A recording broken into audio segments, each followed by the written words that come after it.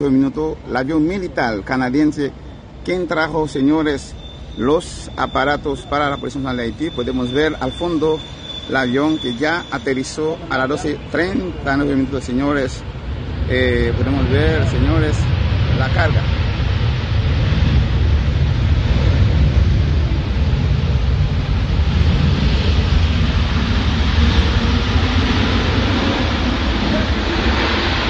avión, avión canadiense, señores, quien trajo los equipos para la Policía Nacional de Haití. Repetimos, a las 12 y 37 minutos el avión aterrizó en el aeropuerto internacional San Vector en Haití.